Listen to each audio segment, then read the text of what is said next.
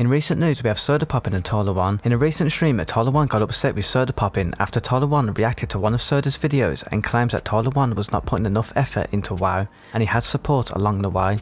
After Sodapoppin's remarks, One confronts Soda's claims in the following clip. That's not true. You're just spitting dumb, disgusting dog because you've been playing for 50 years. So you don't understand what it's like to play a game brand new. You just don't you just don't understand especially at the level I'm playing at. Whether you like it or not, I'm level 50, whatever. Oh, blah, blah, blah, he got help, blah, blah, blah. In the day, I'm still here. I've died once. In hardcore big bad, big bad WoW. Right? And I am visually improving. You guys can cope and say I'm not every single day, every single dungeon.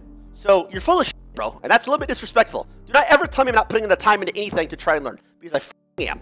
At, at more than you could ever imagine. And again, we're just going to go here now anyway. I, I have put more effort and success and drive and power and passion into every any field you've ever done in your life, then times that by 50. That's me.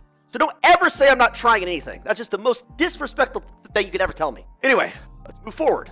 After watching his dungeons last night, I can confidently say I've had way worse tanks in classic dungeons that have probably been playing this game for years. I think he is managing the absolute information overload WoW can be pretty well. As someone who said, no way T1 can get glad in WOW, given three months or whatever his stand said, I still believe that. He still has some very bad habits. That said, he has clearly been improving and is definitely trying. More than can be said for lifelong classic player S-Fund, who has zero excuse for his play. Tyler was born into extreme poverty. Dude went to a tiny high school, broke all their lifting records, got a D1 scholarship, became the biggest LoL North American streamer in spite of getting banned got 2k on chess.com despite almost every chess content creator saying he would not, and now has put in 200 hours in three weeks. In WoW, while being coached by such people as Sonny and Arlando. Not trying is not something Tyler does. I mean, Soda of all people should get it. He tried to learn League with zero knowledge. You have hundreds of people overwhelming you with info screaming at you for f***ing up, that eventually you just say that. I'll play my own way and pick up little skills along the way. Maybe not the most efficient way to play, but the best way to preserve sanity. With that being said, Tyler is super resistant to any sort of coaching, and it seems like he thinks everyone is being condescending when they do. Once he gets 60, if he was willing to submit to being coached by someone, that would be great content and would probably qualify him to main tank, which is even better content.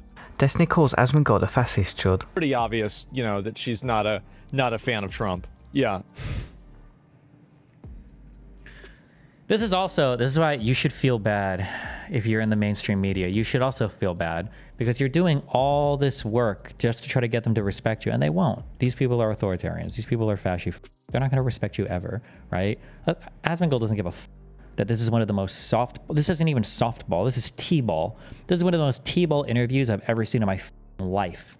And dipshits like this chud still saying things like, "Oh yeah, well you know it's obvious that she hates Trump." Like, "Oh she's trying to set him up so much with the she's trying to trigger him with the picture." Like, why are you even trying? Why not have why not just like do a real interview?